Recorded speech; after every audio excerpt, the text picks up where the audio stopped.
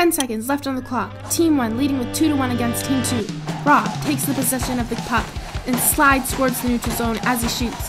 However, this is intercepted by Bob as he slap shots the puck and hitting the net, scoring the goal and ending a game of, with a lead of 3 to 1.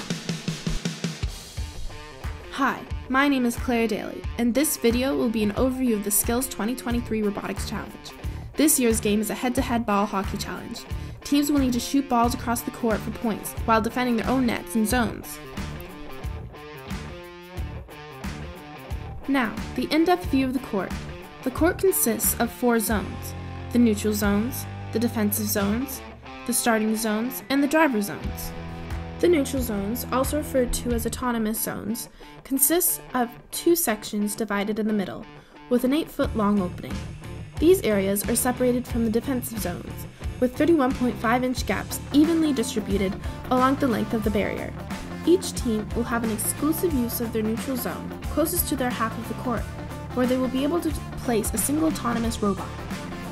Starting zone Teleoperated robots must start on the trapezoidal area behind the defensive zone, while as the autonomous robots start within their autonomous zone.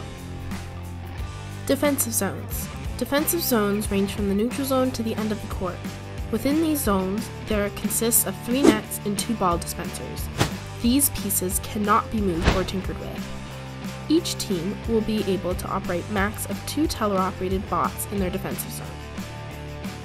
Driver zones. These are where the drivers will be during the match. You'll be able to have two drivers per team located in the triangular sections at the end of the court alongside their defensive zone.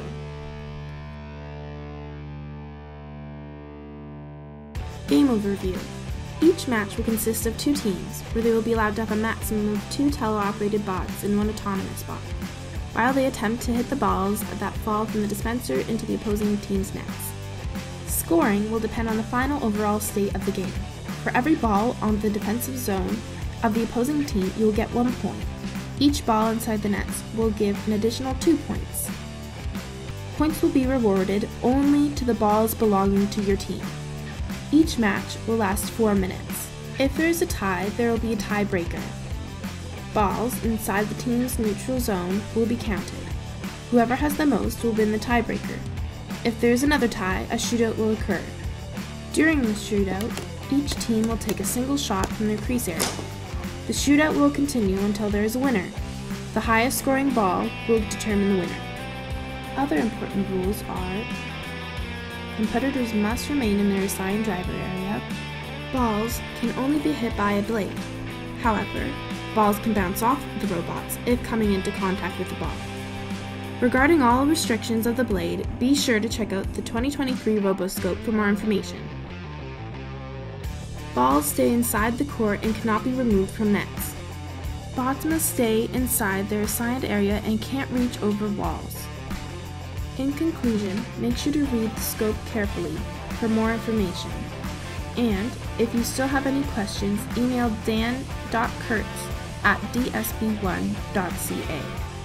We hope everyone has a fun time building and participating in the Robot Hockey Game Tournament. See you at the game!